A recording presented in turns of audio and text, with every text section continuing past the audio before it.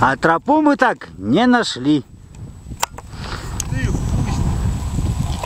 Это я сказал в микрофон.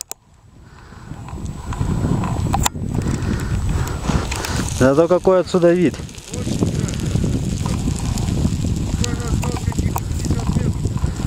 Да, чуть-чуть и все, и мы бы были уже на вершине. Но, к сожалению, без снаряжения и на- навыков подъема это достаточно проблематично.